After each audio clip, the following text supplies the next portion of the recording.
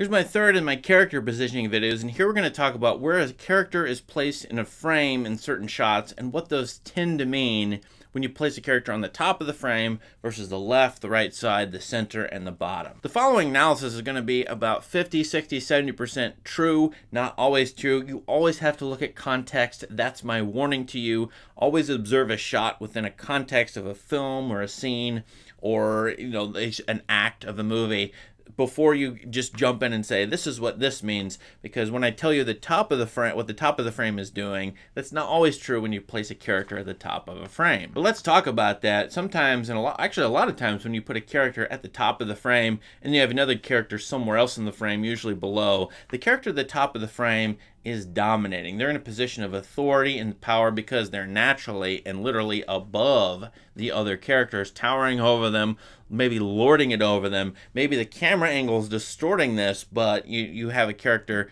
who is more dominant than other characters in the frame or other characters in the scene. If you look at this shot from Stagecoach, for example, where you get the whole old group of characters, you have the sheriff at the top and also the John Wayne character. I know that they're more in the distance, but because this is arranged vertically, in my opinion, you see who the more dominant characters are versus who the less dominant characters are, just in terms of top and bottom of the frame, going up versus going down. Of course, this is not always true. I do have to warn you, just putting people at the top of the frame, sometimes it's just natural. It's just a way to shoot the, the scene, and it's a reasonable practical thing. So it's not always symbolic. Not always does it have this sort of meaning to it. But a lot of classical films, that's anything made between, you know, 19 teens all the way up to the present day, mainstream Hollywood fare use this kind of idea that the top is naturally higher and better than other parts of the frame. The bottom, by contrast, is similar. It's the exact opposite of the top, where if you place a character on the bottom, especially have their head and their neck near the very bottom of the frame, they are lower. They're being marginalized, pushed down. They are literally low, and that can indicate subservience, lacking power, being vulnerable, not having, you know, what not getting what they want, for example, and being lorded over by characters who are above them. In fact, to me, it's pretty rare to see a character near the bottom and only have the bottom half of them or even just a little bit of them show up near the bottom of the frame. I think it's pretty important and more likely the case when you see a character at the bottom of the frame that this is what it's going to mean. Now, the center of the frame is naturally the place where a human eyeball, a viewer, is going to look first. The center is the center of things. It is the focal point, or it's a place of prominence, a place where you can you know, indicate that something is important and that's where people will look naturally, usually at, at, the center region, the left center, the exact center, or the right center. You see a lot of characters who are important, and we want to identify with them and see them as individuals who are our friends or someone we should accept or someone we should at least listen to, placed a lot of times in the right center or the left center of the frame. These are usually places of extreme importance in a movie and prominence. Regarding the exact center, sometimes that's great and sometimes that's not. It can be a little eerie to have things too symmetrical,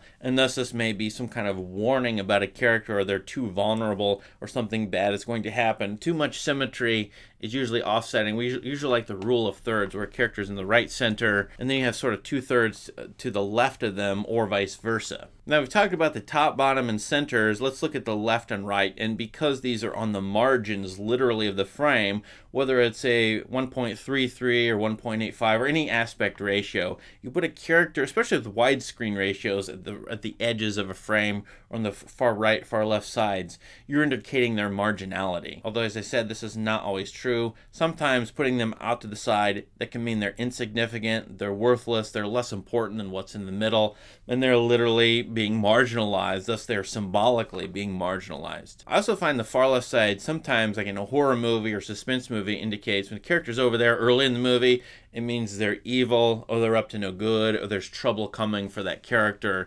The left side, for whatever human reason, being worse than the right side. That could probably happen sometimes with the right side, but the left side in particular is is one of the worst places to be usually in a classical movie especially like a horror movie a detective movie and so on and last i should mention there are a lot of times where characters are not in the frame at all and that is of extreme importance when the director puts things outside the frame not even putting them in any region of the frame very important and worth knowing what's in the frame and what's not in the frame. And when something important is not in the frame, boy, is there a lot of mystery, suspense, and intrigue created when you leave something off the frame that should be on the frame. Now, to help myself out as a viewer, sometimes I think of a frame within a frame, especially for widescreen movies, which definitely for the left and right sides can, can spread things out and do a lot with the far left and right sides. That frame within a frame gives me an idea of what the center is and what the margins are, but top, bottom, left, and right,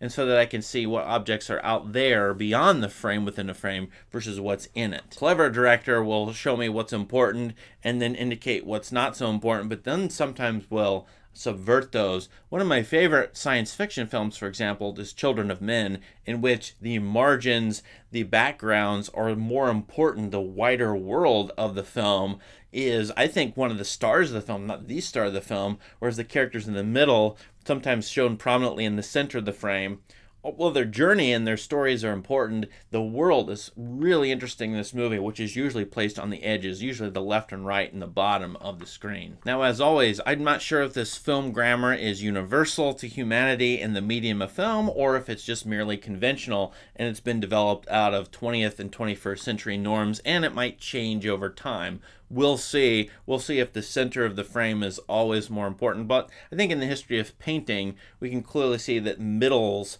have some value or some place of prominence or importance that may continue on in film and last a little while in terms of film, TV, and, and video in general. So what do you think of this video? What do you think of character positioning? And what movies have you seen that use this or subvert it? Let us know in the comments. Please subscribe to this channel for more great content. Thanks and have a great day.